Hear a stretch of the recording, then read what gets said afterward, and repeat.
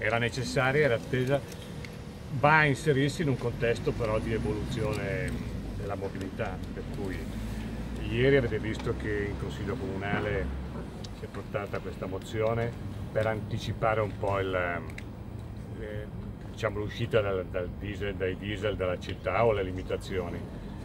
Quella è la nostra filosofia, non tanto di vieti in sé, ma un accompagnamento verso un'evoluzione che prevede eh, un controllo del traffico più inquinante, il eh, ricambio dei nostri mezzi pubblici e la prosecuzione dei lavori sulla, sulle metropolitane. Quindi questo è, è, è il percorso, quindi oggi è importante, sono i primi, però a fine anno mi dicono che ne avremo 25, insomma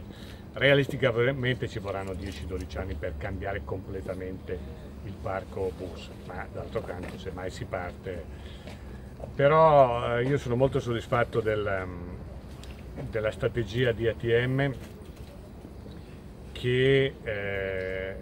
risponde perfettamente alle esigenze più che dell'amministrazione direi della città, e cioè di avere un rinnovo nel, nel parco mezzi, di andare verso una svolta più, più ecologica, nel migliorare il servizio. Ci abbiamo pensato a lungo, tanto, ma sono arrivato alla conclusione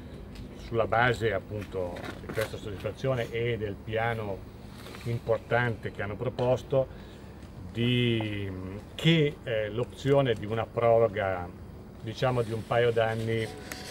è quello di cui c'è bisogno. Ora,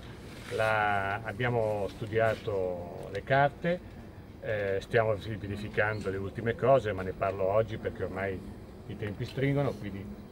solo per dirvi che politicamente ho dato in mandato agli uffici e alla segreteria generale di verificare se nell'ambito delle norme europee,